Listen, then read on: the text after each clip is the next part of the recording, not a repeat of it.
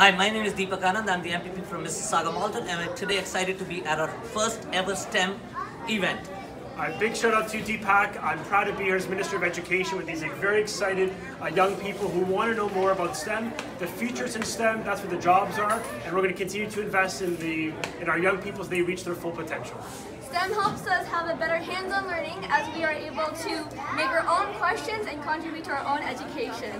STEM helps us, STEM helps us learn about how to problem solve. When we teach STEM to our future, our, we make sure that our future is going to be better and help, that helps our society be a better place.